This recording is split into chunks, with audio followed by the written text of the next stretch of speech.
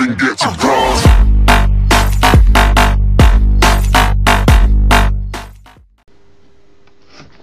Hey guys, EaseOffWhite here bringing you a GTA 5 modded car video.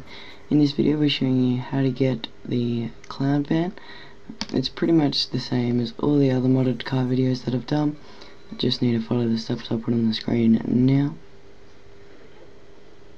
Alright, and then you may be thinking, how do you get this in your garage? Well, I have my very own way to get these blacklisted vehicles in my garage so I won't be uploading that as a video in general but I will teach it to the people that actually decide to follow the steps and I'll invite you guys into the game with me duplicating this car to all you cool peoples.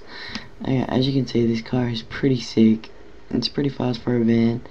Um, it's got some like lowrider looking wheels it's got a clown van a clown horn sorry um, it's got a pretty cool paint job but yeah so this is pretty much the video, just giving you guys the tips on how to get this van.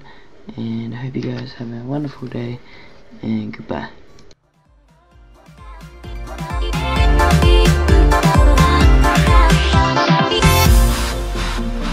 Everybody's got their goals.